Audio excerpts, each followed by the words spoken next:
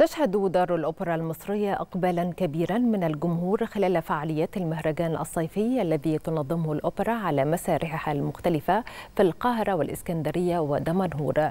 يتضمن برنامج الحفل مجموعة من الأعمال الغنائية التراثية والمعاصرة والتي قدمتها الفرق الغنائية المميزة.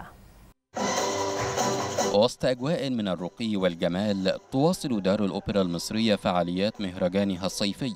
حيث أقيم حفل لفرقة أعز الناس على المسرح المكشوف وقدمت الفرقة مجموعة من أبرز أغنياتها التي تفاعل معها الجمهور. فرقة أعز الناس هي اسم على مسمى هي كل اللي فيها مجموعة من الأصدقاء جمعهم الفن والإبداع والفن الراقي جدا يعني وبتشمل عدة ألوان فنية وموسيقية متنوعة ومختلفة وجميلة والحمد لله لقت رواج كبير جدا الفترة الأخيرة وما شاء الله يعني بدأنا دلوقتي الحمد لله يبقى لنا يعني جمهور كبير جدا بينتظرنا كل حفلة. فرقة عز الناس فرقة ابتدت من حوالي 28 سنة 25 28 سنة ابتدت كنا طلبة في كلية الحقوق جامعة عين شمس ودكتور سامح عبد العزيز أسس الفرقة وبعدين رحنا نادي حورس وبعد كده منظمة الشباب وبطلنا شوية. أنا عن نفسي بطلت 25 سنة وبعدين رجعت تاني.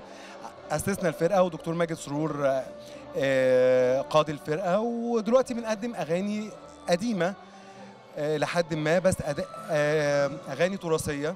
تضمن برنامج الحفل مجموعة من الأعمال الغنائية التراثية والمعاصرة حيث تقدم فرقة أعز الناس ألوانا غنائية منوعة تواكب العصر في التوزيع الموسيقي على الآلات الموسيقية المختلفة. إحنا في, في, في العموم في الفرقة ما بنعملش أغنية يعني ما بنعملش أغاني في حقبة معينة.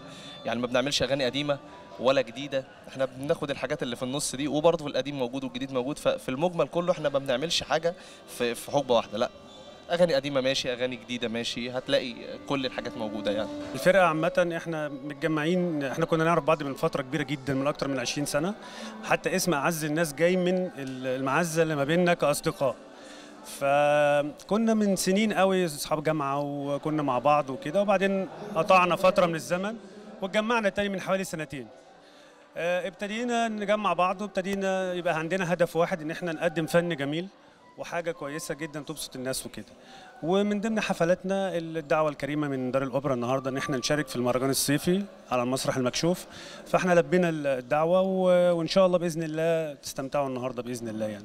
مهرجان الأوبرا الصيفي للموسيقى والغناء. يضم العديد من الفعاليات الفنية الجادة والمتنوعة التي تسهم في زيادة الوعي المجتمعي وبناء الإنسان وتقام الفعاليات حتى العاشر من أغسطس القادم بمسارح الأوبرا بالقاهرة والإسكندرية ودمنهور.